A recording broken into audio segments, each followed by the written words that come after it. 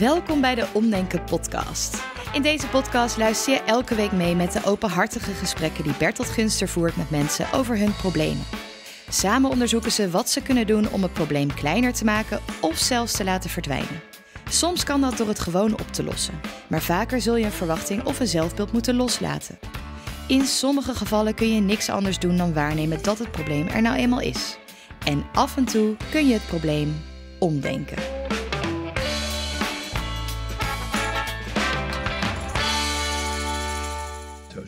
Ja, Zo is deze, deze ook. Deze ook weg. Ja, vind ik ook. Die ook weg. Ook. Dit, houden we er, dit blijft er allemaal in, dit. Zijn we al begonnen? Ja. Maar dit wil je zo laten liggen? Echt waar? Serieus? Nee, ik krijg dat ding er niet vanaf. Ze zitten niet zo vervelend te doen de hele Maar tijd. ik vind het echt dat- ja, ik vind het ook lelijk, maar... Hier, zo, Kijk, je, je kan het wel. Ik wist niet dat jullie zulke perfectionisten Ja, zijn. alle- echt wel. Echt wel. Goed. Zo, dit is beter. Ja. Ik vind het niet, ik Wat vind een het niet leuk. details. Ik vind het niet leuk. Ik vind het een heel slecht idee, dit. Welkom bij deze nieuwe reeks, een kijkje achter omdenken. In deze reeks zoomen we in elke aflevering in op een bepaald onderdeel van het bedrijf Omdenken. Want naast dat we de Omdenken podcast maken, doen we nog veel meer. Eh, deze week gaan we het hebben over onze theatershow. Zoals verwacht loopt alles anders. Eh, sinds september zijn de mannen weer begonnen en spelen ze het vierde seizoen van deze show. Eh, en dat roept natuurlijk allemaal vragen op. Waarom zijn het alleen maar mannen? Wie heeft die theatershow eigenlijk gemaakt? En ehm, wat is de relatie met de Omdenken podcast? Dus daar gaan we het allemaal over hebben. En daarom zit ik hier vandaag met Bertolt Gunster, bij jullie meestal wel bekend. En Pepijn Lagerway, of Lager... Lagerwij gewoon. Lagerwij. Ja, Lagerwij. Ja. Goed, Bertolt, begin even met jou voorstellen. Al heb je die waarschijnlijk niet heel erg nodig, maar jij bent naast de host van deze podcast ook oprichter en directeur van Omdenken. Ja. En als we specifiek over theatershow hebben, dan ben jij de hoofdrolspeler in de show. Ja. En Pepijn, jij bent eh, volgens mij een muzikaal eh allesdoenend talent. Ehm, je bent een van onze omdenk trainers. En je bent met betrekking tot de theatershow muzikaal dirigent en bandleider. Als ik het goed heb begrepen. Als ik Ja, het goed vooral, zeg. eh, vooral bandleider gewoon. bandleider. Ja. Oké. Ehm, Muzikaal dirigent. Wat leuk. Nee, ik dirigeer niet wel- het publiek of zo. Nee, Nee. maar je bent wel muzikaal leider van de band, Ja, toch? precies. Dat mogen Dat, we wel is zeggen, waar we op uitkwamen. Ja. Ja. Ja. mooi, hou hem daarbij. Formeel. Eh, we hebben een En volle al heel lang bij omdenken ook, hè? Ja, Vanaf... joh, bijna twintig jaar. Ja, Zo, dat bijna net zo oud ben ik al, dat hoor je niet. laat het even gezegd zijn Ja. ook. eh. Ja. Eh, we hebben een volle agenda. We gaan dus een aantal onderwerpen bespreken die ik net al noemde. Eh, we hebben ook een aantal vragen via Instagram gekregen eh, van onze fans. En we eindigen deze aflevering met het liedje waar de meeste vragen eh, naar worden gesteld. Dus blijf vooral hangen tot het eind. Eh, maar laten we beginnen bij het begin. Waarom maakt Omdenken een theatershow? Hoe is dat ontstaan? Ja, dank je. Nou, we doen het al vanaf 2011. Dat hebben we nooit zo geambieerd of gewild. Eigenlijk vanaf ongeveer 2000 geef ik eh, shows, training in het bedrijfsleven. Maar ook voor onderwijs, non-profit. eh. en we werken met, veel met theater als werkvorm. Dus het is meer een soort eh theatershow, training, interactie, workshop-achtig ding. Dan dat het nou een training zou zijn. En dus werken we met acteurs die eh, professioneel opgeleid zijn. Een van onze acteurs, Tim Winkel. Eh, ja, die werkte vanaf 2006 werkte hij al eh, voor ons. En die zei rond 2010, 2011, zei hij een aantal jaren, zouden we niet gewoon een theatershow kunnen maken? Gewoon voor het theater in met wat we doen. Ik dacht, theater, is, zijn we er wel goed genoeg voor? Is het wel leuk? Is er wel vraag naar? Maar toen dachten we, ja, we doen wel veel dingen voor organisaties, maar voor individuen. En wat ze dan business to business of business to consumer noemen in jargon. Ja. eh, we doen eigenlijk heel weinig van business to eh, consumer. Dus eigenlijk zou dit wel een leuk idee kunnen zijn. Ja, dus zo zijn we begonnen. In 2011 hebben we twee ehm, theaterbemiddelingsbureaus gevraagd. Van die heb je dan nodig om in het theater te komen. Je moet geboekt gaan worden. Dat is een heel Mhm. verhaal hoe dat werkt. Misschien komen we daaraan toe. Mhm. In ieder geval toen ehm, een van de theaterbureaus die kwam kijken was George Visser Producties. Ehm, en ja, die vond het geweldig en die zei we willen dit boeken klaar. En zo is het in 2011 begonnen. Eh, eerst met kleine zalen en inmiddels zijn we nou, zo'n 14 jaar, 13, 14 jaar verder. En eh, ja, doen we dit gewoon elk jaar naast het werk wat we doen, zo'n 30, 40 theatershows. Leuk per jaar. Ja, per jaar. leuk. Ja. En ik, jij en eh Anne-Margreet, de twee directeuren van Omdenken, jullie hebben ook een achtergrond in theater, toch? Ja. ja. Ik heb de academie- toe- we hebben allebei de Academie voor Ja. Expressie door Woord en Gebaar gedaan. Dat is officieel een docentenopleiding dramatische vorming. Dus we hebben lesbevoegdheid. Maar we hebben ook allemaal theatervakken gehad. Dus dat is ons, eh, onze achtergrond. Ja. Oké, dus je denkt, eh, we gaan het theater in en dan? Wa- Want hoe kom je dan tot een show? Ja, dat, is, dat heel gedoe. Ja. We, we lieten dus eh, het programma wat we hadden, wat we voor bedrijfsleven deden, voor, eh, of je moet zeggen organisaties, niet alleen maar bedrijven, bedrijfsleven ook. Dat lieten we zien aan, ehm, aan dat theaterbemiddelingsbureau George Visser Producties. En die zeiden, dit is gewoon goed, klaar. Oh, Ja, er hoeft, Dat hoeft er niks aan te veranderen. Gaat gewoon in- dus dat hebben we natuurlijk wel gedaan. Met aanpassingen en een decor erbij. En goed licht en goed muziek. Ja. Ehm, maar dan moet het verkocht gaan worden. En ehm, daar zijn ook veel misverstanden ook over bij onze volgers. Die zeggen, dan waarom kom je niet gewoon in Heerlen spelen? Ja, dat- wij bepalen niet dat we naar Heerlen gaan. Dat bepaalt het theater in Heerlen. Ja. En het theater in Heerlen gaat niet zaken doen met een theatergroepje of een initiatief zoals ons. Die doen dat via een theaterbemiddelingsbureau. Nou, zoals George Visser dat is. En die zijn toen eh, voor ons met zo'n boekje waarin ze allerlei artiesten hebben. Jan Dino doen ze ook en de, de Nits en Freek de Jong en een hele batterij artiesten die zij bemiddelen. Zij gaan dan met een boekje langs bij de theaters. Daar zaten wij dan ook in met omdenken. En ze zeiden dan tegen de theaters, willen jullie omdenken boeken? Nou, zo is het eh, gekomen. Het eerste eh, jaar, seizoen hadden we iets van 35 voorstellingen. We hebben zelf eigenlijk, we zeggen elk jaar niet meer dan 40. We zouden wel meer kunnen, maar dat willen we niet. Oké. En kleinere zalen, en die waren eigenlijk allemaal vol. Het jaar erop grotere zalen, waren ook allemaal vol. Het jaar erop nog grotere zalen. En zo stonden we in drie eh, seizoenen, bijvoorbeeld voor de oude Luxor in Rotterdam met 900 mensen ook uitverkocht. Ja. Ja, dat is een ontzettend tof avontuur. En Ja. zo, zo gaat het dan via zo'n theaterbemiddelingsbureau. Ja. Oké, en dat was dus, eh wat zei je, 14 jaar geleden Nou, ongeveer? 2011 was het eerste seizoen dat we het Ja. theater in gingen. En, en dat was denk ik een hele andere voorstelling die er nu speelt. Dan, dan die Ja, we speelt. hebben in totaal nu drie voorstellingen. Kijk, het leuke is, eh, wij zijn niet een gesubsidieerde gezelschap of een, een andersoortige groep die een voorstelling maakt dat dan heel vaak gaat spelen en dan, ja, dat doen ze dan en dan moet er een nieuwe komen. Wij kunnen gewoon zeggen, we willen dat uitsmeren over heel veel jaren. Dus de eerste voorstelling hebben we drie seizoenen gedaan. De tweede voorstelling hebben we vier seizoenen gedaan. En deze voorstelling gaan we dus sowieso vijf seizoenen doen.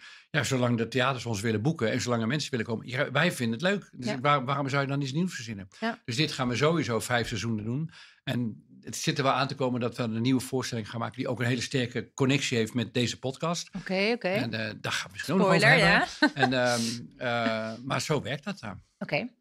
En eh Pepijn, was die er ook al gelijk van het begin eh, bij, bij die theatershows? Nee, niet, nee. Pepijn. Niet te lachen, toch? Ja, ik heb hier een een flauw grapje te gaan maken. Dat kan, Eh, hoor. Nee, Ik ben er wel, maar ik zit er een beetje bij. Ik zit vooral naar je te luisteren. ja, dat Nee, heb dat ik is ook natuurlijk niet graag. de bedoeling. Ja. Vertel Pepijn, wat, wanneer eh, werd jij betrokken bij de Nee, voorstelling? we hebben dus, eh, je hebt dus eerst die show met Tim gedaan, daarna met Dat, Dion. die heette Omdenken Precies. gewoon. En daarna- Toen met Dion, die heette... Dion, lastige kinderen heb jij even geluk. Ja. Eh, en nu heb je, zoals verwacht, loopt alles anders. En toen kwam eerst corona. Misschien- Nou ja, precies. Het is wel leuk om te vertellen hoe dat dan gegaan is. Want jij had eigenlijk helemaal geen zin meer om met acteurs. eh Nee, ik dacht, ik, dacht ik doe een solovoorstelling. Precies, Dat dacht ik echt. gegaan. Ja, Die is ook En, gemaakt. eh, die is ook gemaakt. En eh, de Ruud Wijsman, eh, eh, regisseur, die Wacht heeft... even, dus eh, iets, even rustig. ja, dus je dacht, rustig. na de, na eerste... zeg ik rustig tegen ons.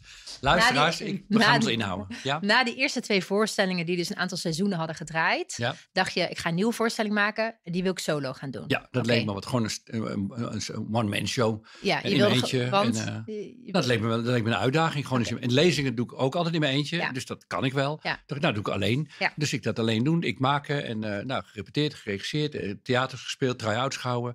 Nou, lichttechnicus ging mee en, en geluidstechnicus met z'n drietjes. Maar het is gewoon saai. Het is Ja. gewoon helemaal niet leuk. Dan kom je aan, dan ga je ding doen, de afloop, dan ga je weer weg. Het is gewoon, het is gewoon niet gezellig.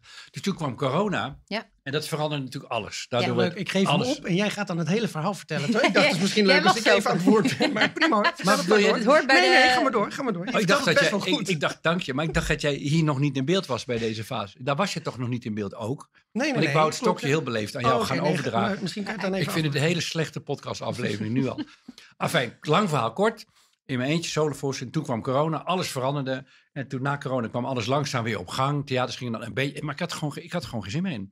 En ja, theaters is stom en in mijn eentje. En toen zei Annemarie Greet, mijn vrouw, die jij net ook noemde, mede-eigenaar, oprichter van dit bedrijf. Zij zei, ehm, die theaters zijn geboekt, mensen willen graag dat je komt. Eh, ja, die, die hebben een hele bevoorrechte positie vergeleken met allemaal beginnende gezelschappen die de theaters niet eens inkomen. Dus dat is eigenlijk een heel groot geschenk wat je hebt. Maar kun je dat niet zien als een gelegenheid om er een feestje van te maken? Om er Een iets leuks van te maken? van een probleem, een mogelijkheid. Ja, van een mogelijkheid. En, eh, en, en toen zei zij, en nou ga ik heel rustig praten en met af en toe een stiltetje het bruggetje leggen naar Papijn. Toen kwam zij met het idee, zou het niet wat zijn om de band, want met Omdenken hebben we een soort huisband, om die band erbij te vragen. Huisband. Ja, huisband. De jongens van Omdenken noemen zich. Het zijn allemaal trainers, acteurs die allemaal ook voor Omdenken werken. Net als Pepijn, Ja? die zo dadelijk aan het woord gaat komen. Want hij zit al Hij Echt zit hoor, er hij zit er al, hij, ik zit er hij zit er al klaar voor. En ehm, eh, die net als Pepijn heel lang voor Omdenken werken. Die hebben een band. En Anne Geet zei, mijn vrouw dus, vraag die band mee en dan neem je ook meteen je zoon mee. En uh, dat is leuk, gezellig met je zoon op pad. Dan hoef je niet alleen te rijden, is ook leuk. En dan geef je je zoon ook een rol in het theatershow. Dat wilde hij ook. Nou, niet meteen. Ja, hij wilde het niet niet. Hij, jawel. hij wilde het niet niet. Ah, nee, maar het le- ja, hij ik wil het niet niet. Nee, maar het leek me ook wel heel leuk. Maar hij mijn zoon, Beer, die dus in de theatershow, de, de, hij is het finale van het programma. Ja. We gaan het zo naar jou, hè, Pepijn? En, eh, je gaat er hij- gelijk een hele theatershow weggeven en dan komen de mensen niet meer. hè? Nee, nee te wachten tot Beer podcast ook helemaal- niemand deze podcast afluistert, ben ik bang. Nee, dat gaat snel. Maar Beer heeft geen theaterachtergrond. Maar ja, die heeft wel de slotmonoloog van de theatershow gekregen uiteindelijk. In ieder geval, zij zei, eh, maak er een clubje mensen van. Ga als een rock'n'roll-bandje op tournee. Ja. En dat, dat dacht ik, ja, is dat een goed idee? En dus, dus ben ik Pepijn gaan bellen. Nou, Pepijn, je zit Maar op hoe, de hoe ging dat? Je werd gebeld door Ja. Bertolt. Ja, en wat toen, leuk. waar Hoe was ging je? dat? Nou, het was, het was april, weet ik nog. En ik Weet was je nog welk jaar dat was? Ja, is corona? vier jaar geleden. Dus Ja, het- het 2020 was nog of zo, hè? Ik denk dat het 2020 was, ja. Ja.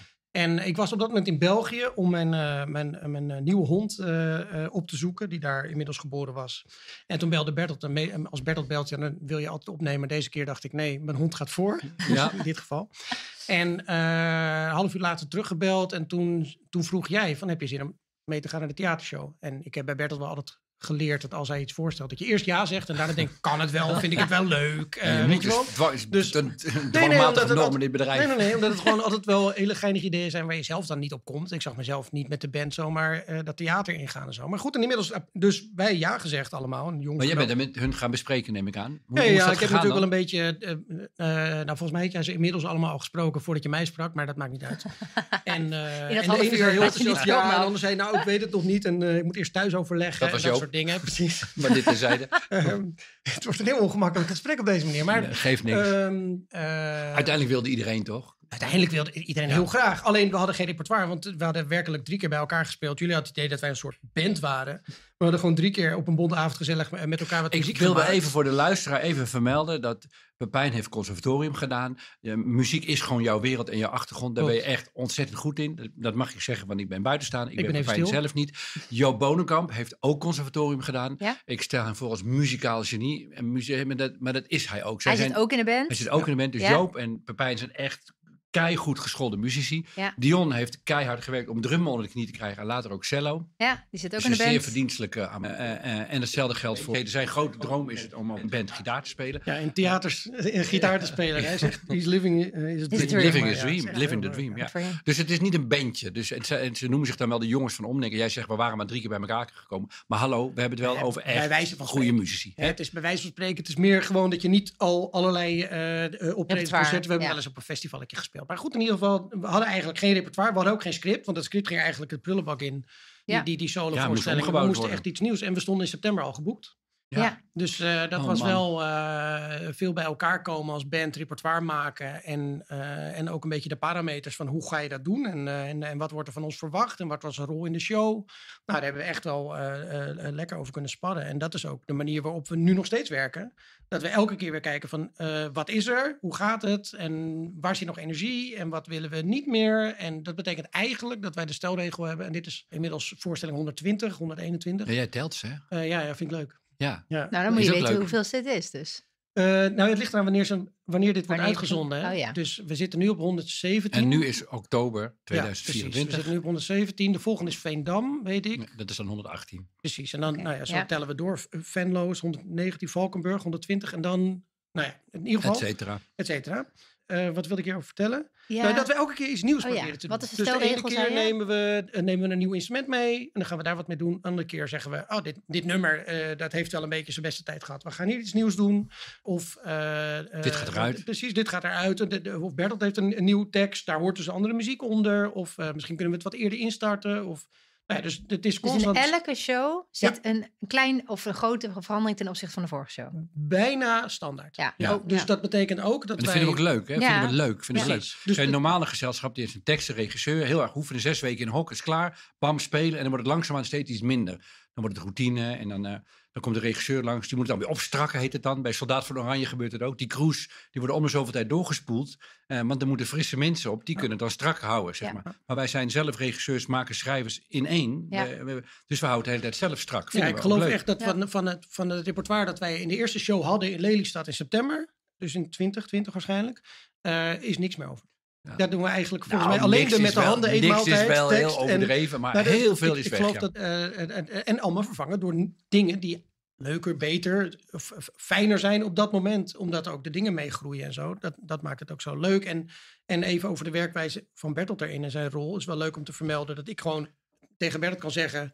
eh, hè, als we Veendam binnenlopen om, om, om daar en daar. Wil je weten Nee, wat het is? niet Nee, ik wacht om dan Purple Rain erin te doen. Wat en- eigenlijk als een idee heel slecht Echt klinkt. hè? wel een slecht en pretentieus idee was. Je gaat er die Purple Rain van Prins nadoen. Precies, dus, eh, eh, of nadoen. eh, in ieder geval. Ja, eh, zo- en zo het was dat- ook wel echt een moment dat we dachten, nou, hier kunnen we wel even uitpakken. Dus dat hadden we echt goed voorbereid. En Bert had niks laten horen. Hij zegt, joh, we zien het wel. En toen zette ik, terwijl hij praatte, die akkoorden van Live, Purple hè, dus Rain in. live. Dit is dus eh, met een Ja. volle zaal. Ja. En, eh, en eh, het was in Bergijk of zo. Ik Nee, dacht, doe nou niet. Precies. En hij, hij kijkt me aan en ik doe het Doe niet, nou doe niet. het niet. Nee. En ik, ja, ik denk, eh, volhouden, volhouden. En, en misschien is het een slecht idee. En dan doen we volgende keer weer wat Maar anders. Weet zingt je dat zo onvoorstelbaar goed gewoon. Ja, En dit is geen cover, dat is gewoon een, een ander nummer geworden. En ja, dan, maar dat is natuurlijk heel En die is gevaarlijk bij gebleven cover. dus, deze ja, ja, ja, schitterend. Ja. En, eh, en dit is natuurlijk heel gevaarlijk. Of, je- dat is ontzettend glad ijs of je dat dan wel of niet moet doen. Ja. Eh, Gaat dus dat wel als- eens mis dan? Zijn, Eh, maak nou, bijvoorbeeld het lied gehad veranderingen? Bedankt lieve Bert. Maar dat was jouw idee. Wat ik wel een heel leuk idee, Ja. dat dan de show begint met, eh, dat, omdat ze natuurlijk allemaal trainer en acteur zijn, dat de show begint met een heel kwel, kwelnummer bedankt Lee, op de, de wijs van vader Abraham, Bertolt, bedankt voor dit leven. En eh, dat vonden wij intern heel grappig, maar dat was uiteindelijk gewoon een stom idee. Dus nou gaat het er gewoon weer uit. Precies. Ja, dat En had dat- ook te maken met hoe de rol tussen de band en jou zich eh v- verhield, Moest gaan zeg vormen. maar. En dat hebben we eigenlijk, die hele verhaallijn hebben we losgelaten. Omdat die verhaallijn met, met Beer natuurlijk ook steeds sterker werd. En dat eigenlijk gewoon heel belangrijk was. Ja. Hebben wij die rol In tussen het begin hebben we wel gezocht, eh. Adam Geet en ik hebben het vooral geschreven, het script. Ja. Eh, hebben gezocht naar, moet er ook een soort dramaturgische ontwikkeling zitten tussen hoe die band zich met mij verhoudt. En eh, dat, is te ingewikkeld, dat halen we eruit. En daar hoorde dan dat lied eh, bij. Precies, Ja. ja. ja. We zouden hem op de Bondavond nog wel een keertje kunnen doen, bij wijze van Nou, spreken. maar dat, allemaal. Dit weekend hebben we Bondavond. Zeker, zeker, zeker. Ja. Oké, dus ehm, dan hebben we de band, we hebben Bertolt, we hebben Beer. De, ik tel dus allemaal mannen. Hoe zit dat eigenlijk? Waar zijn de vrouwen? Nou ja, Om- Omdenk heeft een lange geschiedenis van het vooral met mannen werken. En de laatste jaren zijn we wel met vrouwen gaan werken. Ja. Eh, en, ook, en we willen ook graag eh, inclusief gaan als het gaat om multiculturaliteit. Dus eh, Hassan werkt ook bij ons trainen. eh, de acteur doet die prima. En dat is gewoon langzaam aan het veranderen. Ja, en de, de band was gewoon samengesteld uit degene die toen voor Omdenken werkte. Maar dat was geen bewuste keuze als er een vrouw...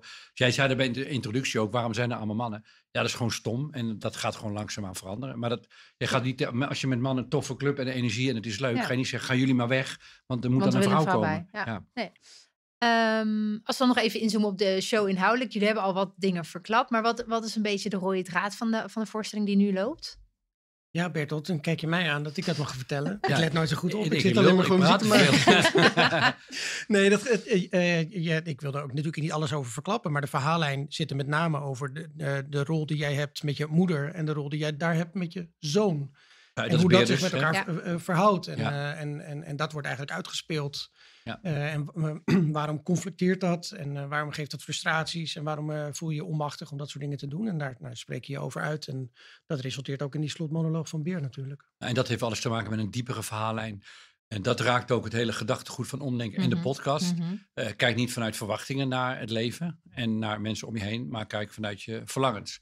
En dat is in één zinnetje dat zeggen is heel makkelijk, maar er zit een enorme ehm, diepte en gelaagdheid achter aan allerlei theorieën, gedachten, overtuigingen, de manier waarop je in het leven staat. Ja. En eh, voor de mensen, we maken nu dus mee dat mensen die de podcast heel goed kennen, die komen naar het theater en die, die weten dan niet zo goed wat ze moeten verwachten.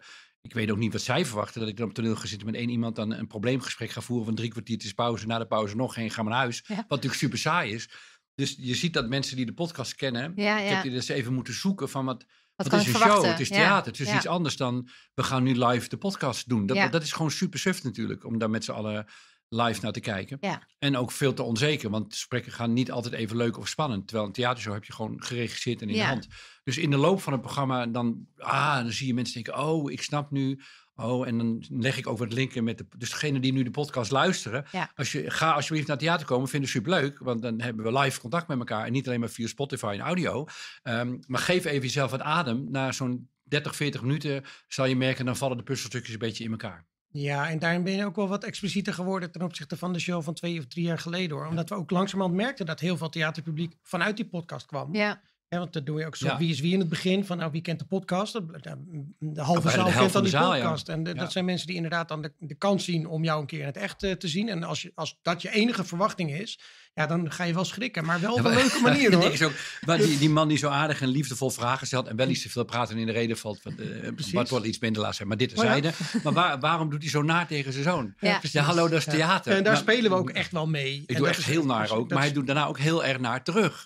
En, eh, dus dat duurt even voor mensen die code pakken, Ja. zeg maar. eh. Ja, En we hebben nog nooit gehad dat mensen wegliepen. Nee. Dus wat dat betreft eh, is iedereen de afloop ook wel weer, eh, is de verwachting ook wel weer meer dan waargemaakt. Dat ze gewoon wel, eh, ja, wel inhoudelijk wat hebben meegekregen. Ja. Wat heel veel raakvlak heeft met wat er ook in die podcast En wat superleuk is aan het theatershow, is je hebt echt live contact met het publiek. Dus je voelt de zaal ademen en reageren en lachen en stil zijn. Ja. En terwijl bij de podcast praat ik één op één met iemand. Ja. En dan reageren mensen allemaal ook mee. En dat zijn er echt heel veel. Want zo elke aflevering wordt zo'n- ja. zo'n 80.000 hè, per keer ongeveer.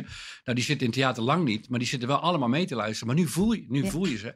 En na afloop, wij gaan altijd ook in de artiestenfoyer, of eh, in de foyer gewoon Ja. wat drinken. Dus Ja. niet in de artiesten. Niet in het artiestfoyer, juist niet. Nee. Bewust meteen naar het publiek toe. En soms ga ik ook als er een boekhandel is, eh, boeken signeren. Ja. En dan, dan, dan heb je kletjes met Contact, mensen, of ja. verhaaltjes. En dat, dat is superleuk. Ja, Ja. Dat vinden we ook heel leuk. Ja. ja, Ja. echt superleuk. Mooi. Vooral mensen die dan zeggen, ik vond het echt heel leuk. Maar jammer dat die mannen steeds doorheen praten. ja, er zijn wel eens Deze mensen man bedoel je? Ja, ja, ja, ja, precies. Die komen dan even voor de muziek. Dit, dit knippen trouwens, dit knippen er trouwens uit, want het is gewoon helemaal... Dit wordt We bijna nooit gezegd. gehad, we hebben twee mensen gehad en die weet ik voor hoeveel, eh, meer dan 50.000 die we er al gehad hebben. Dus wat dat betreft. Die dat zeiden. Ja, precies. Die mensen. Ja. Ja, Eén keer een man ook. Een man, mensen kunnen soms zo lomp zijn. Echt ongelooflijk. Dat, dat houd je toch niet voor mogelijk. Komt een, ik sta boeken te signeren. Heel, probeer het gezellig te doen. Ik vind het ook superleuk. Echt leuk. Ja. Komt een man naar me toe. Ja, ik, ik heb het gezien. eh, ja, ik zeg, eh, dat gepraat, eh, die, die muziek vond ik leuk. Maar dan gepraat is door niks. Dat, dat zeg je toch niet? Is toch Nee. gewoon Dan onbeleefd? heb je net een hele show gespeeld. Ja. Ben je hartstikke moe. Ja, ik sta er nog gewoon dan te kletsen. Nog ja. ja. Maar goed. Leuk. Maakt Ja. niet uit. Oké, eh, en kunnen jullie ons even meenemen in hoe zo'n dag van een voorstelling er precies uitziet? Jazeker. Eh je moet je voorstellen dat de technici al om een uur of één zo'n theater eh, Ja. inkomen. Die gaan eh, rustig opbouwen. Nou hebben we niet heel veel decor mee. Maar er moet wel degelijk wat eh, gedaan worden. Ook met licht. Eh bandspullen moeten klaargelegd worden. Zodat wij, als we met de instrumenten aankomen om een uur of vier... echt gelijk kunnen neerzetten en, en soundchecken en zo. Ja. Dus nou, dat is gelijk de volgende stap. Om vier uur komt de band dan. Eh instrumenten neerzetten. hele land, hè? Van, ja, eh, precies. Iedereen, het, het ligt er natuurlijk aan waar je, waar je vandaan komt. Eh, er wordt wel hier en daar wat gecarpoold natuurlijk. Mhm. En eh, nou, om vier uur even lekker, eh, hoe is het met iedereen? En, eh, en rustig opbouwen. Om, om vijf uur willen we een echt goede soundcheck draaien. Ja, dan komen jullie meestal ook binnen. Ja, en jullie zijn dan- ik en Bertolt Beer, en, eh, en Ik rij altijd samen met mijn zoon in de auto. Precies, Beer Ja. rijdt meestal. En dan Ja. eh, kan jij lekker eh, uitrusten. Ik weet niet wat je doet met Nee, we doen vaak teksten. Wij Oh. doen vaak teksten. Oh, wordt het daarom zo goed? Maar die weet je toch al? Nee, Ja, maar dat kan eh, altijd beter, oefenen. Ja, die weet je toch? Nee. Nee, nee, nee. Nee, maar dat is, dat is een onderschatting van het vak. Ja. Want je tekst kennen is iets anders dan je tekst kunnen plaatsen. En, hem kunnen, en het tempo ervan. En dat, je, dat het echt lekker loopt. En dat, de, dat is net als een... eh, Ja, je kan altijd iets cognacje zie ik spelen op de piano. Maar je kan het ook spelen. Dus dat vergt heel veel oefening. En, en we zijn ook voortdurend nog aan het bedenken... Moet dat stukje er niet uit? Of kan die zin niet anders? Of, Echt waar, joh? Hier zit een grap, maar er wordt niet echt lekker gelachen. Hoe zou Dus je die kan een anders... half uur Ja, joh. bezig zijn met gewoon één woord. Ja. En dat wordt dan tijdens het eten ook eh, uitgebreid besproken. Wat je Ja. hier zei, kan je dat niet misschien een beetje hier anders... Of als je dit nou op deze toon zegt, kan je dan... Ja. Oh, Dus daar we Kan hier niet de stilte? eh, Ja. ja. Ja, oké. kan, je, eh, kan je die komma iets langer maken? Of daar hebben we echt En nog dat, steeds vind, en dat vinden over. ik in ieder geval, en volgens mij jij ook, en dat vinden we met z'n allen. Eh er Dat is stilte. een van de leukste dingen Ja. te maken. En dat is niet alleen dus die nieuwe dingen uitproberen, maar juist ook die... Klein, hey, wat je daar zei, heb je, heb, je, heb je doorgehad dat die hele zaal toen nee riep? Ja, dat, Hm. dat zei en, jij en, dat laatst. precies. En, dan, en, dan, en let maar op, let maar op. En dan, en, en, dan, en dan plaats je hem nog net even anders, waardoor het nog sterker... Het is zo ja, want tof. de, om- de, de, de, vra- de, de, over die nee, dat is wel grappig. Het is van heel recentelijk. eh, ik heb een een of ander idioot verhaal. En dan zeg ik tegen de zaal, dit had je niet verwacht, hè? Dit had je niet verwacht. En dat staat gewoon in mijn tekst. Dat heb ik uit mijn hoofd geleerd. En, Ja. eh, en toen zei Pepijn inderdaad van, mensen gaan gewoon antwoord geven Ja. dan. Gaan mensen antwoorden? Ja, ze zeggen allemaal nee. Maar ze zeggen dat net zo hard dat ik het net niet hoor. Nee, Ja. Maar Pepijn ziet en hoort dingen best wel, wel. best wel Hè? nieuwe informatie is. Want daarvoor hebben ze dat niet geroepen. Nee. Dus blijkbaar is in het verhaal Iets daarvoor ook iets gebeurd... waardoor er dus nu een hele harde in- interactieve Interactie, nee valt ja. uit Ja, die dus- zaal. maar omdat ik dat weet, dankzij Pepijn, dus de keer dat ik dat wist daarna, toen zei ik dezelfde zin, zei, "Ah, dat had je niet verwacht, hè? Zei ik hem gewoon wat harder en dan komt nee, heel en, hard nee. en, en, dan haal, en dan haal ik de nee, nee, en dan, Precies. dan ja, En dan wordt het heel grappig. Ja, En dan wij heel erg lol. Dat Ja. kijkt elkaar aan en denken dat wij hier weer zijn. Dat is Ja. gewoon echt heel grappig. Ja. En, en, maar dat, dat, mensen, mensen denken, en dat is echt, mensen, tenminste mensen niet die uit het theatervak komen, die denken, Oh, als iemand daar zo makkelijk voor een zaal praat, zo en heel ontspannen, dan improviseer je dat. Dan nou, echt een, dat is een ongelofelijke misvatting. Het komt heel erg geïmproviseerd, over, Ja. omdat je het zo ongelooflijk goed beheerst. Omdat je precies per zin weet, hier, komt, hier reageert het publiek zo, hier denken ze dit, hier doen ze dat. Hier, denk, hier kijkt de band weg, hier kijkt de band me aan. Nu kijkt, dus al die details, Ja. dat is... Dat is en juist pas als je dat helemaal, als je dat meestert, zeg maar, als je dat helemaal de baas over bent, pas dan kun je ontspannen voor een zaal staan. Ja. ja. Hoeveel shows duurt het dan voordat je echt ontspannen voor zo'n zaal staat? 50 tot 100. Oh, ja, ja. echt Ja. dat wilde zeggen aantallen. 117. Dus dit Nee, seizoen is helemaal nee, relaxed. Nee, weet je wat het leuk is? Ik, ik heb elke keer het idee dat we, bijna elke keer het idee dat we onze beste show spelen. Ja. Omdat we gewoon Ja. zo bezig zijn met, Ja. eh, met, met constant op die, op die millimeter dat, eh, dat doen. En dat vinden we ook leuk met elkaar. Weet je, want we kunnen er ook samen op het, op het toneel enorm van genieten dat dat dan lukt. Als er geen nee was gekomen uit die zaal, hadden we ook heel veel lol Ja, gehad. dat Ja. Dat je niet. dan denkt, ja. dat werkt dus niet. Ja, stom idee. Deze Stom idee. ja. Dus dat is Ja. ook heel Ja. leuk. Dus Ja. En dat wat, met meespe- elkaar en wat meespeelt, ook de, de muzici zijn niet muzici in de zin van dat ze een soort beroepsspelers zijn, Ja. broodspelers. Maar die zijn ook allemaal trainer en acteur. Die staan zelf ook voor zalen. Dus die vinden het leuk met mij mee te denken. Zoals ik ook met jullie meedenk met de muziek. Om een, een, zo'n soort geheel performance. We doen dat met z'n allen, zeg Ja. maar. Ja, Ja. sterker nog, de teksten die jij in die theatershow gebruikt, die gebruik ik stiekem ook wel eens in mijn on-company Ja. training hoor. Dat ik dan denk, oh, ze kunnen net even dat wat beter gebruiken. Dus als ik hem nou eh, daar vandaan haal of zo, of Ja. die, die tekst van Bertolt gebruik. Ja, dat is heel handig. Dus je materiaal wordt ook gewoon steeds meer. Dat is eh, heel prettig. Leuk. Oké, nog even terug naar waar we waren. Dus jij zit in de auto met Beer. Ja. Jullie komen rond vijf uur aan. Er Ja. loopt een Ja, goede, goed dat goede we- we hebben soundcheck wordt gedaan. het. Dat was weer heel erg. En dan? Structuur. En dan zijn er nog andere routines of dingen Ja, die altijd... We gaan om zes uur eten. Nee, je vergeet nog iets. Oh. Voordat we gaan eten, gaan we, dat doe jij niet aan mee. En Dave ook niet, want die is een uh, Nee, doen we na het eten altijd. Nee, voor, uh, of Nee, nee, doe je na het planken. eten. planken. Ja, doe je na het eten altijd hoor. Nou ja, dat, Jawel, nou, jawel, soms wel eens voor. Maakt is niet dat uit. zo? In ieder geval, we gaan dan planken. Er zijn vier mensen die dat nodig vinden. noem om even Planken, je bedoelt eh, op de grond Ja, met je... Ja. En dan doen we elke voorstelling twee seconden langer. En op hoeveel seconden zitten jullie nu? We zitten nu op 2 minuten 48. Ja, dat vinden ze zelf heel veel. Ja, en dat is ook veel voor degene. En Pepijn waarom lach niet je mee, nou? toch? Nee, ik doe zeker niet mee. Nee, ik heb fysiek allerlei problemen. jij in dus die daarom tijd dan? doe ik dat niet. Nou, Zit je ik, te vooral kijken, lachen. grapjes maken. Even naar de wc gaan Ja. en eh, even Ja. omkleden. eh, een beetje tuttelen. Een beetje met Dave praten, want wij doen er niet aan mee. Maar goed, Dave en Pepijn, ik noem bewust even hun naam, doen niet mee. En Joop, Dion, Beer en ik doen daar dan Ja, wel jullie aan mee. dat Dat leuk. En uh, nee, maar dat is meer een soort ding. Even leuk. Nou, ik merkte wel dat je sfeer behoorlijk had verpest toen ik zei dat mijn zoon van 15 tegenwoordig plankt met eh, vijf minuten. Dus het- in die zin hebben jullie nog Dat is geen gewoon niet leuk. Maar je zoon is 15, toch? Die heeft Ja, nog ja, eh, ja, zeker. ja. Nou, maar dat maakt voor mij niet Oh. uit. Dat vind ik dan nog steeds irritant. Dan gaan we eten. uitdaging. Altijd Dus zes eten om uur. zes uur, Zes uur. eh, Ook Altijd handig. Altijd Meestal, eh, eh, wordt het eh, door het theater geregeld. zijn nou Ja, weet niet. En meestal wordt het door het theater geregeld en is dat echt heel erg voor elkaar. We hadden inderdaad in Berg Eiken, dat was zo'n, zo'n, een, een hele lieve, eh, in dit geval vrouw, die, die ook als vrijwilliger kookte in zo'n grote keuken. En die eh, wilde nog een eitje voor je nasi Ja, maken. super tof. Oh, en, nasi. en soms heb je een hele uitgebreide maaltijd en soms ja, is het wat minder, maar de- goed, daar Soms je ook bestellen, we zelf. Hè, En, dan. en soms wordt het, kan er vanuit het theater facilitair niks geregeld worden. Dan eh, regelt Beer altijd het eten. Nou, dan Ja. is het Thais of Indonesisch of. India. Een beetje wat er... is dit daarvoor interessant handen voor is? luisteraars? Nee, ik denk het niet. Is dit nou Nou ja, Ja, goed. ik- het is toch, je moet een goede maaltijd hebben voordat je En dan, podium Ja, gegeten. maar, nee, het gemeenschappelijk moment van het samen Precies. eten. En dan super worden dus ook heel veel dingen doorgenomen. Dus niet alleen eh, van de theatershow zoals we net bespraken, maar ook gewoon Leven. dingen die we on the road meemaken of leven inderdaad. Of eh, relaties. Persoonlijke eh, ellende. En geluk. Precies, ja. ja. En, ehm, Geluk wat minder, maar om zeven uur zitten we meestal weer standaard in het theater. Eh, om met Nico de laatste soundcheck te doen, Ja. eh, gordijn te checken, eh, nou, allemaal dat soort eh, dingen. En dan gaan we inderdaad nog eh, of planken of eh, even omkleden of wat dan ook. En, we En, hebben en nog Big een, Booty, hè? En we hebben een Big Booty Ja. eh, oefening. En dat is een impro-oefening die Een heb Big jij Booty? van... eh, ja, leg jij maar uit. Nou, dat is een oefening die ik Via jou weer van. Daniel weer heb geleerd. Daniel is een van de trainers eh, ook bij, bij Omdenken. En die had Die dat bij een op sterk water zit. Precies. Impro-groep. Zal ik het vertellen? Nee, doe maar niet. En, eh, nee, hoor, nee, vertel jij. Ja, Nee, en dat, dat, is een, dat is inderdaad een impro-oefening om eh, heel erg te focussen op één ding. Ik kan die oefening wel maar uitleggen, maar dat is niet zo interessant. Google. Het is Maar vooral een superleuk, spelletje superleuk. waarin Ja. Nico als technicus ook eh, vaak meedoet, wat Ja. ontzettend leuk is. Nou, bijna, eigenlijk bijna en altijd. eigenlijk altijd. En Ja. ook bijna altijd als eerste af is. En, ehm, maar dat is niet leuk. Het is heel competitief, maar ook weer heel erg leuk. Dus we proberen eigenlijk En allemaal we vinden elkaar af te allemaal leuk. krijgen. We vinden allemaal leuk als we zelf af zijn. Precies, dus vinden het we is, ook het grappig. is, het is eh, Ja. heel grappig en het gaat steeds sneller en sneller. We worden, hier, ongelooflijk goed in. Nou, en, en je moet eh, het, hel, het is een oefeningetje. Ja. en eh, ik zou willen dat heel Nederland die komt. Zo, zo leuk. Het is gewoon een focusoefening. Voor, maar je, bent, je moet zo ontzettend in het hier en nu zijn.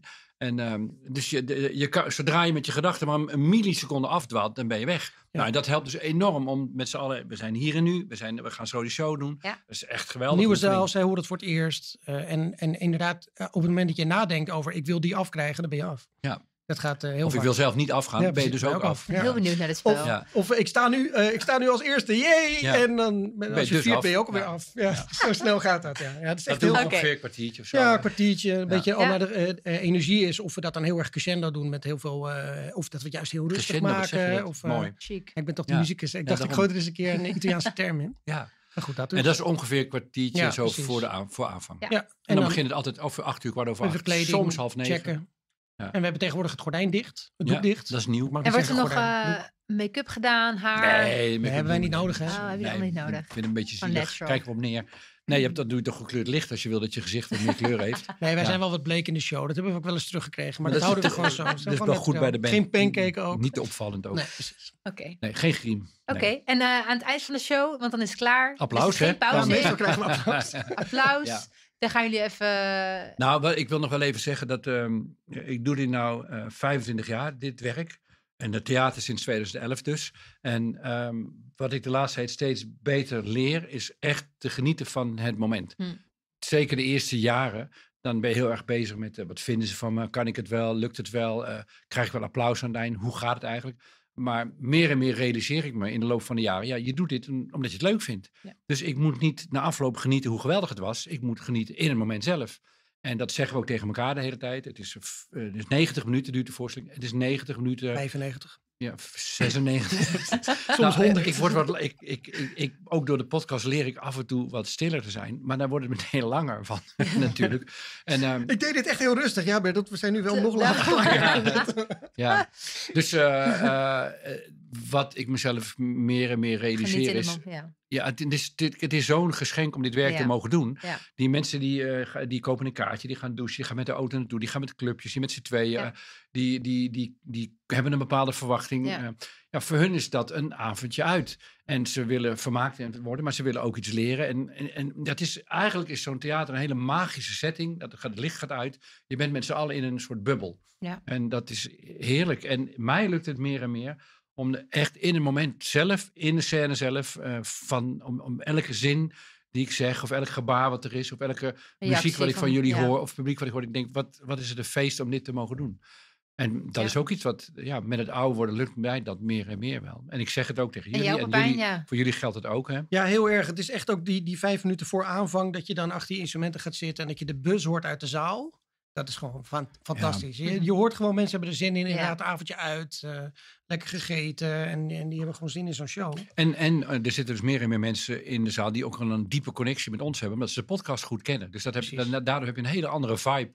Dus ik kom op en heel veel mensen kennen mij dus al van mijn stem. Ja. Ik denk, wat is het voor een rare man met een blauw pak? zo ziet hij Maar eruit. zien ze hem dan. Ja. Eh, zien ze me dan. Maar ze, ze zijn heel vertrouwd met mij. En Ja. dat is voor mij ook heel nieuw. Dat Ja. is pas van de laatste twee jaar. Precies, zeker in die uncompany trainingen die wij nog steeds geven, is het natuurlijk zo dat mensen die, ja, je komt op hun werk, ongevraagd bij wijze van spreken, daar een verhaal vertellen. En dan is het, het ijs daar breken is gewoon op een hele andere manier dan in een theatershow, waarin iedereen inderdaad gewoon zit te wachten een leuke, ja. leuke avond uit. Ja. Dus, Ja, eh, ja. dat is wel een hele leuke aanvliegroute. Ja. Ja. Ook vooral omdat het naast elkaar bestaat. Ik vind allebei superleuk. Ja. Ik heb altijd zo bedacht, het theater is zo, mensen hebben een hoge verwachting. Ja. En dat Ja. is ook goed. En, dat, en die moet je dan proberen te overtreffen. Eh, maar je loopt het risico dat het minder wordt. Nou, we- hallo, we gaan natuurlijk wel overtreffen. En, eh, hallo, ken, leer mij Hallo, kennen. Dus maar, maar je begint dus met een hoge verwachting. Ja. En dat is heel fijn, want het is heel makkelijk. Maar het is ook spannend, want je moet het wel waarmaken. Voor bedrijfsleven, of organisaties moet ik zeggen, daar ligt het andersom. Mensen hebben bijna altijd een lage verwachting. Vaak zijn iemand heeft het bedacht of ze voelen dat ze gestuurd zijn.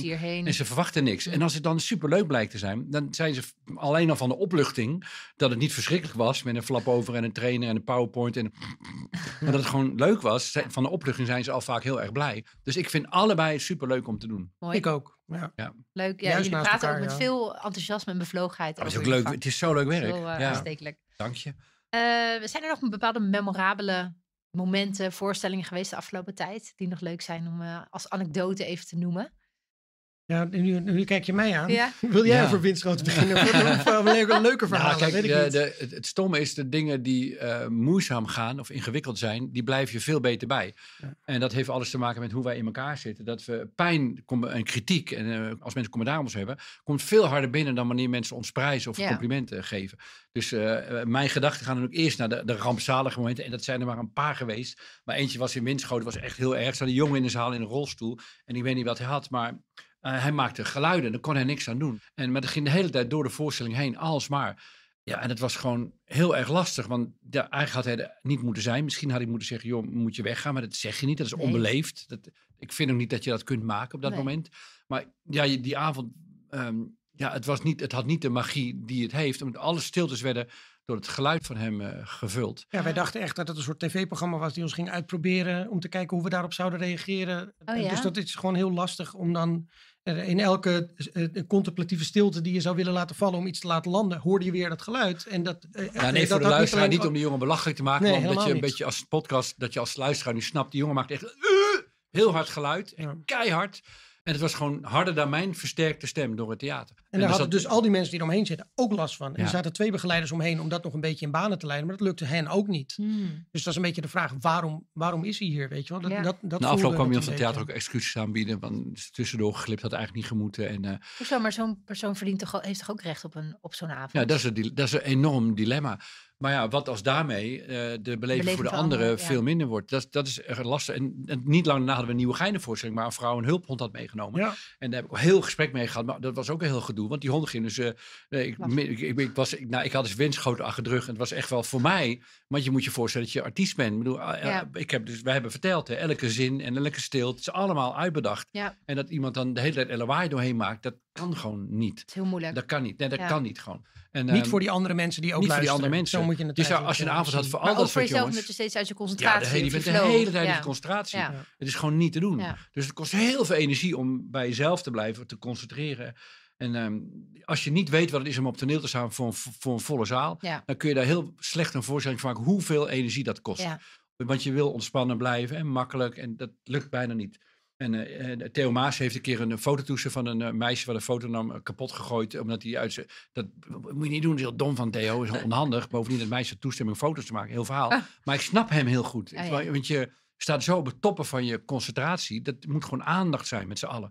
En eh, dus dat hadden we overleefd. En heel lang daarna ook gepraat van hoe gaan we hier nou in de toekomst mee om? En wat doen we dan? Nou, het is een dilemma. Ik vind het lastig. Maar niet lang daarna hadden we voorstelling, een nieuwe gein. En ik ben twee minuten onderweg en ik hoor woef. Ik denk, oh nee. Oh nee, we hebben toch niet een hond in de zaal? Hè, dat was inderdaad een hond. Ja. En En eh, daar zei ik iets van. Kregen we meteen ook mailtjes van mensen. Oh, iemand geeft een blafje. Doe je daar meteen zo moeilijk over? Ja, dat is, ik snap wel, maar mensen snappen dat niet. Nou, Ja. die hond was verder heel stil en rustig. Ik En En die hond was gepraat. meegenomen om hem te laten wennen aan grote gezelschappen Oh. en herrie. En ik- proeven bij jullie, Precies, of en jullie dan, en dan een theatershow meenemen. Vond ik wat. Nou ja, wat leuk is Ah, die vrouw was een hele leuke vrouw. Ze, kwam, Ja. is een gast in onze podcast geweest. En eh, met echt? haar was ze is na afloop van de theatershow naar me toegekomen. Superleuk gesprek. Hm. Ze had een hulphond. En die hond was, die, die, hond, die deed verder prima. Hij heeft Ja. maar één keer geblaft ook. en, Nou, het eh, leuke was, de afgelopen voorstelling heb jij niet gemerkt, was er ook een hulphond. Ja, maar die hond was stil. Die was helemaal stil en die heb, Ja. je, heb je gewoon niet eens zitten. Maar, goed, we, hebben nu over leuk. incidenten. En dat vind ik Ja. helemaal niet zo'n leuk gesprek. Wat, Want- wat, wat zijn dan leuke... eh, Ah, mensen zitten heel vaak te huilen of ze te, te lachen. En dan, ja, jij, ziet dat, jij ziet dat veel beter dan ik. Hè? Ja, ik heb natuurlijk misschien- een mazzel dat ik als jij praat, zit. dat ik wat meer de, de- wat meer de zaal in kan kijken. Dus Ja, dan en kan ik- je inderdaad zien hoe dingen landen en ik sta midden toneel en dan heb je heel veel licht op je. En ik zie gezichten gewoon wat minder goed dan jij. Ja, ik weet een, een leuke anekdote, misschien leuk, een leuke anekdote vertellen. Als wij heel ver weg zitten vanuit onze positie gezien, zeg maar, eh, vanuit onze woonplaatsen gezien, dan willen we nog wel eens hotel nemen met elkaar. mhm. Dat hebben we ook in Maastricht gedaan toen we daar speelden. Eh, de eerste keer dat we in Maastricht speelden. En ehm, toen zijn we daarna ook met z'n allen gaan stappen. Toen waren er ook wat mensen van Omdenken bij. Dus Johannet was er ook bij. En nou, daar daar hadden we wat voor georganiseerd. En dan gingen we daarna eh, naar een kroeg en zo. Toen liepen we om een uur of half twee, twee uur daar dat plein op. En toen hing daar zo'n billboard, zo'n lichtbord. En daar stond een quote van Omdenken op. Ja. Nou, dan voel je je Dat was opeens dat je, je denkt van, wat gebeurt hier? Weet je, wel? dan heb je net heel erg leuk eh, theater aan het Vrijthof. Wat toen uitverkocht was. Wat, er zitten er 850 man of zo. Ja. Eh, eh, heb je dan een hele eh, fijne avond eh, mee gehad. En dan vervolgens drink je gezellig een biertje met elkaar. En heb je het heel leuk. En kom je nog mensen op het terras tegen en zeggen... Oh, wat zo'n leuke avond. Je wel, mooi. dat. En dan vervolgens zie je ook nog zo'n billboard. Dat was wel echt... eh Dan was je wel magie. Ja, dat was wel heel leuk, ja. Dan je... En die, diezelfde windschoten waar ik dus was, eh, kom ik smiddags aanrijden. eh, en dus eh, uur of vijf. Mhm. En er stapt een man uit die zegt, hé hey, hallo. En die herkent mij blijkbaar. Hij kwam helemaal vanuit Zuid-Limburg. Helemaal naar Winschoten gereden voor de voorzitter. Ik zeg, waarom gewoon zo eind? Ja, ik wou hier naartoe. Waarom? Jij zegt, jouw podcast heeft mijn huwelijk gered. Mm. En nu ben ik hier met mijn vrouw. En wij vieren dat het goed met ons gaat. En we hebben voorovernacht. En we komen de show meemaken. En voor ons is het een feestje vanavond. En toen dacht ik, komen mensen dus echt helemaal vanuit Limburg. Naar aanleiding van de podcast. Om, nou, dat, dat ontroert mij dan, dan denk ik, wel enorm. Dan denk ik, van, jeetje, dat, dat wij met wat we doen dus zoveel effect op mensen kunnen hebben. Ja. En na afloop eh, komen mensen naar ons toe en dan horen we verhalen. En eh, ja, de, dat, het is echt heel ontroerend om te merken hoeveel wij voor mensen kunnen betekenen. Mooi. Mooi. Met een avond die dus heel leuk is, laat het duidelijk ja, zijn. Hè? het is heel veel Dus lachen. het is gewoon heel veel lachen. Precies. Anders dan Vooral heel erg lachen. ja, Het is tegen het cabaret aan, vind ik. het is cabaret. Ja. Heel veel cabaret zou willen dat ze. Nou. Eh, nee, het- er, is, er is bewust heel erg ook op, eh, op de lach gemaakt, gerepeteerd en Ja, geoefend. ja. En, eh, en er zit ook ontroeren, stille momenten en een Ja. serieus verhaal.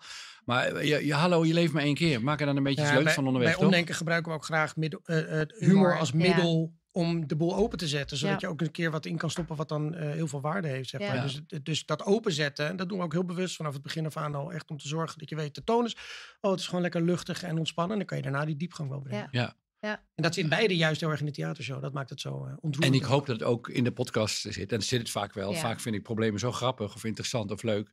En ehm, ja, als je niet kan lachen om je ellende, dan wordt ellende gewoon tragiek. En als je erom kunt lachen, dan heb je nog steeds ellende. Maar je kunt er in ieder geval een beetje van afstand naar kijken. Dan wordt het behapbaar. Ach, het leven is sowieso allemaal ellende en gehark en gedoe. En we gaan allemaal dood en geboren. Nou, en tussendoor doe je dan een theatershow. Ja.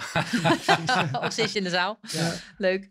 Ehm, je zei het in het begin al heel even dat er misschien een nieuwe theatershow komt. eh, over de podcast of zo. Of wat, wat? Ja, er is van alles aan het gisten. En eh, de, de podcast heeft op mijn leven natuurlijk wel een enorm groot effect gehad op mijzelf. Mhm. ik, ik hoop dat het de podcast een effect op anderen heeft, maar het heeft op mij ook een enorm effect. Ja.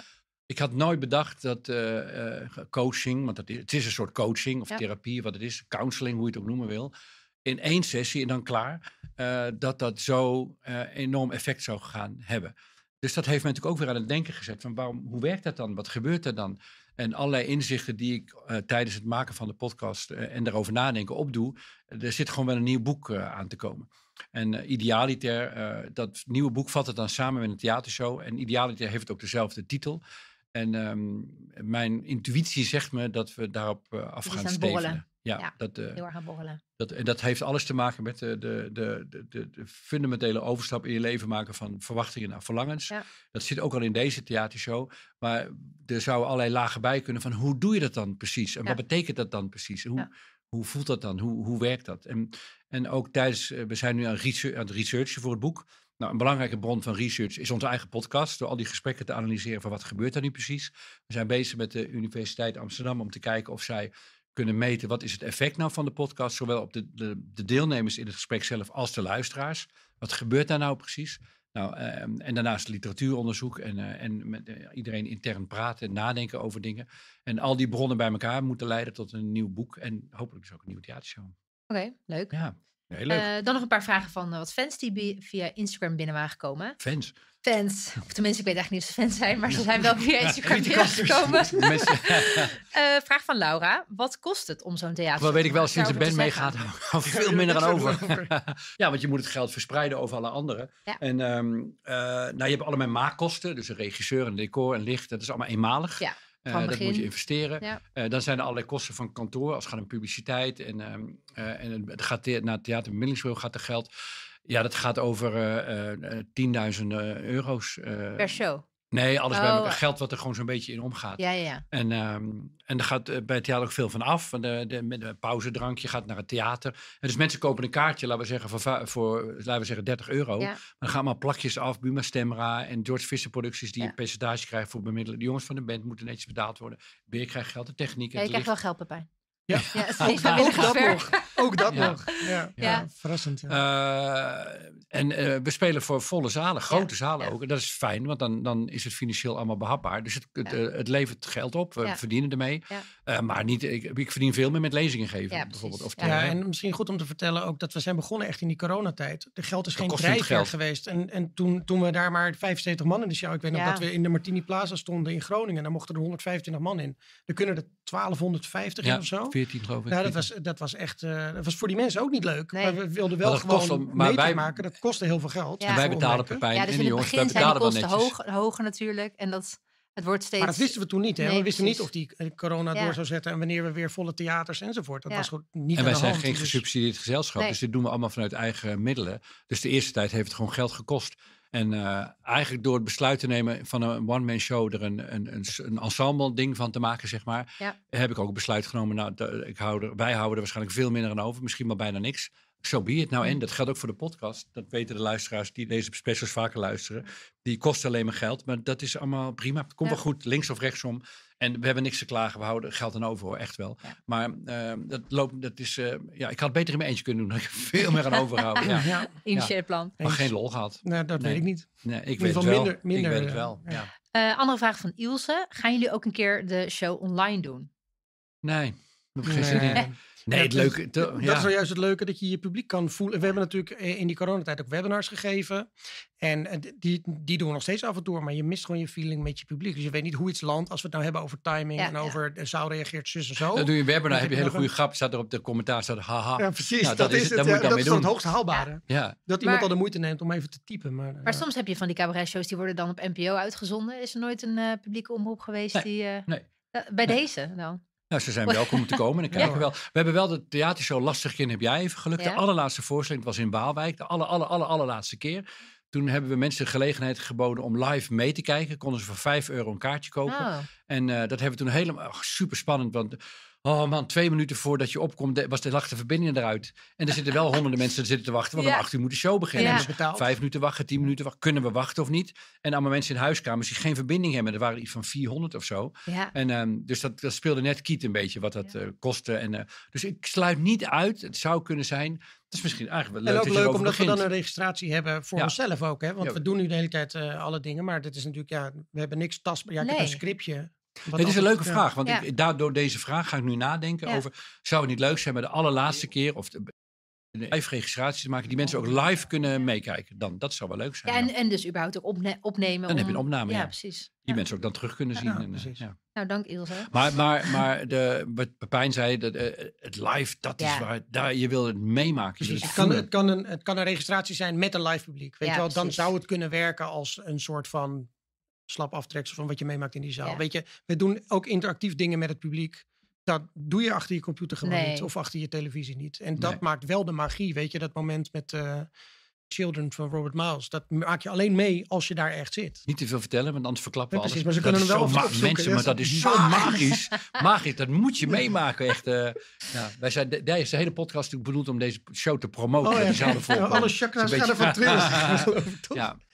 Nee, wel heel leuk. We staan dus binnenkort in het AVAS Theater in Scheveningen. Ja. En dat is een super vette zaal. We hebben eh, 1400 mensen gehad in Martini Plaza. Ja. 900 mensen in Oude Luxor. En eh, dus eh, het aantal mensen is, eh, het, is eh, eh, eh, het is een record. En eh, ja, een toffe zaal. Dus, eh, 1950 kunnen erin geloof ik. Zoiets, in Scheveningen. In Ja. Scheveningen. Ja. Ja. Dus 2 December. december. Hm.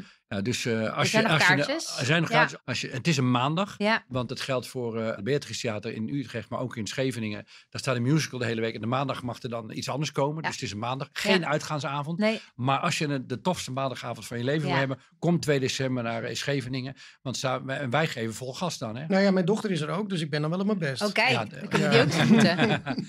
En, ehm, eh, want nu we het dan toch even over eh, shows hebben. Dit jaar staan jullie ook voor het eerst in België. Ja, ja. Ja, Begrijp ik? Ja. Er, waren, er, was, toch, er waren regelmatig mensen die vroegen van, eh, zijn jullie daar ook wel eens? Wij willen, ze- wij willen zelf heel graag in België spelen. Ja. En ons theaterbemiddelingsbureau, George Visser Producties, die gaan ook naar België toe van...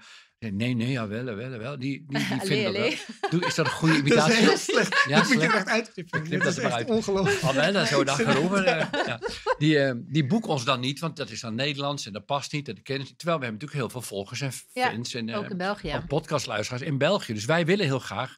Dus lieve mensen in België, denk nog niet dat wij niet willen. Wij willen wel, maar die theaters boeken niet. Ja. Nou, om die hele padstelling te doorbreken, hebben wij zelf dus in Brugge een zaal gehuurd. Ja. Op onze eigen kosten, ons eigen risico. En die zaal heeft gezegd, nou ja, ah wel, ah wel. Allee. Weer, het komt, vooruit Ja, dan moet je maar. Ah wel, vooruit dan vooruit. Kom dan maar. Dus, eh, dus wij staan nu in België eenmalig, want eh, dat zou Ja. best kunnen zijn eh, eh, dat het nooit meer terugkomt. Dus kom allemaal ja, kijken. 1 Wij- maart. In jij weet het, 1 maart 2025. Ja, wij gaan er gewoon een Ja. weekend van maken. Ah, het wordt zo leuk gewoon. Ja. Dus Het wordt zo tof voorlopig de enige. Enige keer in en- België. Ja, precies. Ja, en wij hebben er ontzettend veel zin in. En wat jij zegt, dan we er ook een nacht aan vast. En Precies, dus als mensen Ja. ook nog tips hebben waar Ja, we dan in Brugge kunnen landen. Bij eh, wie? Op welk bedoel je? terras. En waar je lekker frietjes kunnen ja, eten. van de, ja, Dat is ook weer zo'n vet. Ja. ja. Ah, ah, wel, waar is hier. Laat maar gauw doorgaan. Ja, bier. precies. Ja. Ehm, Brugse Oké, en nog voor, we staan dus, eh, jullie staan in nog meer theaters komend jaar. Als je gaat naar www.omdenken.nl slash theatershow, dan kun je de hele speellijst zien en ook Ja. waar er nog kaarten zijn. Mhm. Eh, dan heb ik nog een laatste vraag van een fan. Oh, En dan zijn we alweer bijna bij het eind. de tijd Ehm, vliegt, hè? dat, is, dat is volgens mij wel een fan. Die Oh. zegt, eh, ik ben zelf al twee keer geweest. De kaarten zijn duur. En niet voor iedereen dus. Komt er een keer een winactie?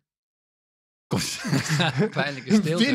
Win. Ik zou zeggen, ja, bij De deze. laatst, kreeg, laatst kreeg van iemand een mailtje van... Heel eh, mensen ja, ik wil graag in Veenendaal naar het theater komen, ik heb weinig geld. Krijg ik nu een vrijkaartje? Kun je dit omdenken? Ik denk, Ja, god ja. Kijk, ehm, eh, voor veel mensen is het veel geld. Ja, dat respecteer Want het ik. begint vanaf ongeveer 28 euro, toch? Kaarten? Ja, het is per theater. Ja. Wij bepalen dat niet. Nee. Het theater bepaalt. eh, wij bepalen alleen maar wat wij moeten kosten. En zij leggen er allemaal bedragen bovenop. Ja. En zo werkt dat dan. Het is gezegd tussen de 27,5 en volgens mij 35 euro tegenwoordig. Dat verschilt nogal per keer. Ja, voor sommige mensen is dat veel geld. Als je met een heel gezin wil gaan, heb je het over 120 euro. Maar als je naar een popconcert gaat of je gaat naar Lowlands, dan betaal je vergelijkbare Ja. bedragen. En eh, ja, zo, zoveel kost dat eh, dan. En eh, nou ja, misschien moeten jullie van, ik kijk jou nu aan Marije, van de marketing- en communicatieafdeling bedenken of er een winactie moet komen. Nou ja, ik vind het En, wel een, leuke, een leuk idee om dat ja. te koppelen aan deze aflevering. Dus dat zullen we op de social dan laten volgen. Ja. Nou, dan zijn we door de vragen heen. En dan eh, wilden we deze aflevering afsluiten met het nummer waar dus zoveel naar wordt gevraagd. Misschien Oh nee, maar ik wil nog iets vertellen. Oh, dat moet er echt nog een in. verhaal. Ja, misschien, ja, de- misschien moet dat in het midden erin geplakt worden. Eh, want het is niet live, dus we kunnen het toch monteren. het Niet gelukt. Jij weet waar ik naartoe wil, of niet? Ja, dit vind ik echt geweldig om het te vertellen. Beer ehm, eh, is dus de zoon van Anne Geet, mijn vrouw en mij. En eh, hij heeft geen theaterachtergrond. En we hadden bedacht, we gaan hem een rol geven in een theatershow. Hij speelt erin mijn moeder, wat gewoon natuurlijk eigenlijk helemaal niet kan. Hij heeft en geen theateropleiding en het is eigenlijk een heel slecht idee. Dus dat is hi- in zichzelf hilarisch. Maar om een hilarisch idee goed aan de praat te krijgen is heel veel werk. En Anne Geet, wat jij in het begin ook zei, wij hebben allebei een theateropleiding. Zij heeft hem geregisseerd en urenlang met hem geoefend om te zorgen dat hij dat vak een beetje gaat kennen. En hij scheet echt peuken en kotsen en overgeven. De eerste voorstelling vond het zo eng en zo verschrikkelijk. En hij wou het ook tegelijkertijd heel graag. Maar ehm, wat ik leuk vind, is echt bizar. Hij is een geinige, geinige, geinige jongen. Dan, eh, om zichzelf een beetje eh, in de stemming te krijgen, ging hij altijd douchen van tevoren. Hij had ook zo zijn eigen ritueel. Hmm. En dan speelde hij altijd, nam hij zijn iPhone mee de douche en dan speelde hij het Russisch volkslied. Ja. Waarom nou het Russisch volkslied? Know. En, eh, Dit was dus, voor de eh, oorlog met Oekraïne. Ja, ja, Ja. anders zou hij, dat zou hij nou echt nooit... En hij Precies. doet het ook niet meer. Oh ja. En uh, dus misschien leuk om een klein stukje in deze podcast te laten horen. Dat je een beeld krijgt, misschien met het geluid erbij van een douche. hoe hij zich dan nou, Guido, concentreert leef je uit. om in zijn ritueel uh, te komen. Precies. Ja.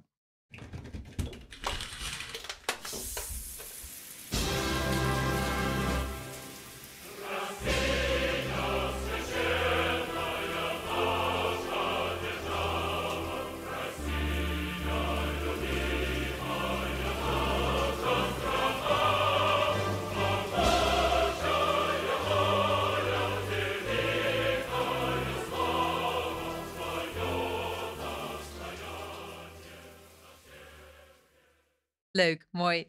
En dan uh, sluiten we af met uh, nog een muzikaal uh, intermezzo, noem je dat? Ja. namelijk nou, nummer... ex, intermezzo dan, toch?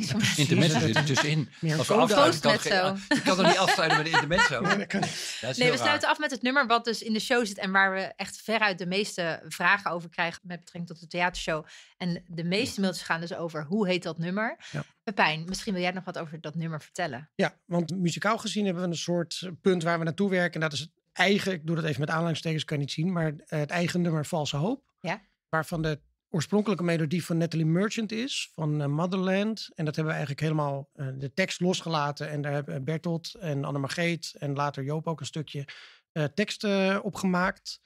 die heel erg slaat op de theatershow. En nou, dat hebben we helemaal opnieuw gearrangeerd. En eigenlijk, ja, de melodie is nog een heel klein beetje herkenbaar. Maar dat is wel eigenlijk, het is bijna compleet een eigen nummer geworden. En dat voeren we ook als enige nummer echt totaal uit. Het is ook echt het he uh, een heel uh, nummer. En uh, dat kunnen mensen ook beluisteren. En het is leuk om het inderdaad zo meteen te laten horen. Uh, het is niet te vinden op Spotify. Dat heeft even met rechten technisch. We hebben Natalie Merchant wel gevraagd. Maar die, nou, dat impresario kwamen we niet doorheen. En die gaat dan weer moeilijk doen. Want het is een melodierecht. En je mag geen dingen hertalen enzovoort. Dus vandaar dat staat het op Soundcloud. En, dus mag dat wel dan officieel? Nou, daar kun, daar Mogen we daar op deze podcast überhaupt wel laten horen of niet? Is dat, dat ook discutabel? We gaan misschien, wel, misschien krijgen we klachten. Ja. Of misschien moeten we en er geld komen nieuws de zaal uitverkocht. Dus, dat heet omdenken het dan maakt niet uit hoe ze over je praten, als ze maar over je praten. Ja. Dus uh, nee, prima. Ja, wat mij betreft plak hem er gewoon achter. Ja. En uh, hij is ook aan het einde van de theatershow ook nog uh, compleet te horen. En er, er is een QR-code waar je kan scannen, zodat je hem vaak kan beluisteren. Hij is inmiddels een dikke 5000 keer beluisterd al. Dus het is in ieder geval wel iets wat mensen graag horen. De zang is van Joop? Ja, Joop zingt. En Dave gitaar. Uh, Dion cello en ik zit achter de toetsen. Ja. Mooi. Nou, dan gaan we nu naar luisteren. Leuk. En dan wil ik jullie alvast bedanken voor het luisteren naar deze aflevering. Ja, ik ook. En jullie mannen voor ja, uh, ik vond het verhalen. Ja, ik ben ook heel erg benieuwd. Uh... Wie het einde heeft gehaald van deze podcast. wou ik niet zeggen. Maar daar ben ik eigenlijk nog benieuwder naar dan ja, wat precies. ik wou zeggen. Ik weet niet eens meer wat ik wou zeggen. het einde gehaald? Ik denk dat niemand het einde heeft. Als je, weet je, als je nou het einde hebt gehaald als luisteraar, mail even dat je einde hebt gehaald. Dat is ons leuk om weten. Dan nee, mail alsjeblieft niet. Dan heb ik het heel erg druk. om, om, ja. Veel plezier met het nummer zo. Ja, ja. oké. Okay, dankjewel. En Marije, jij bedankt. Graag gedaan. Ja.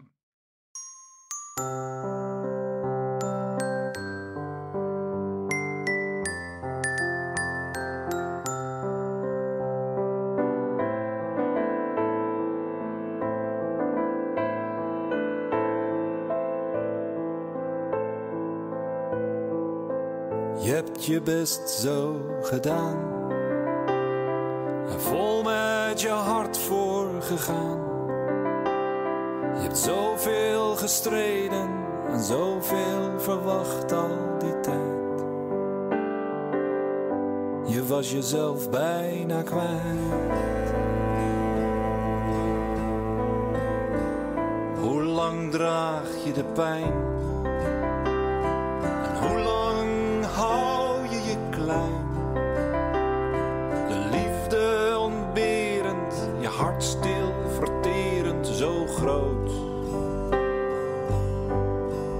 Vast aan een droom.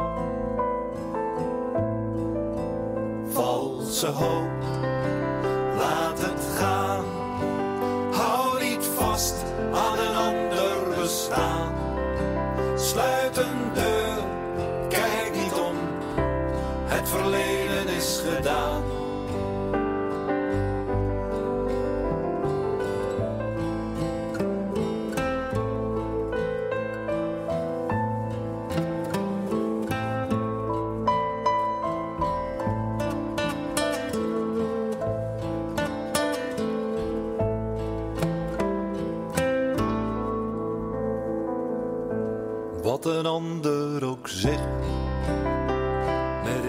intentie zo mooi en oprecht. Het vertroebelt alleen maar je beeld, want jij weet wat er speelt. In het echt. Valse hoop, laat het gaan. Hou niet vast aan een ander bestaan.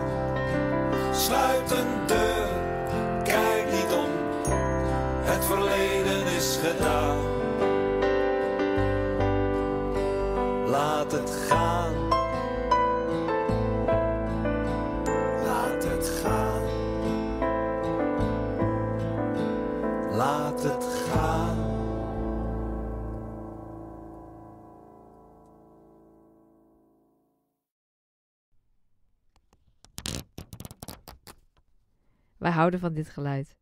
Weet jij wat het is? Komt hij nog een keer.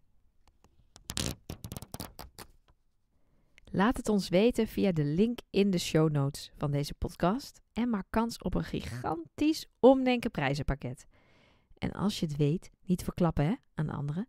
Dat zou flauw zijn. En je maakt ook nog eens minder kans op die prijs. Dus eigenlijk gewoon een heel slecht idee.